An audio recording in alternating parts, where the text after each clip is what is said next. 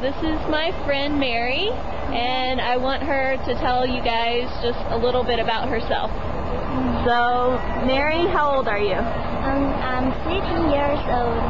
Yeah. Uh, talk really loud. Um, I'm 16 years old. Uh, and where are you from? Uh, I'm from Yinchuan in Ningxia.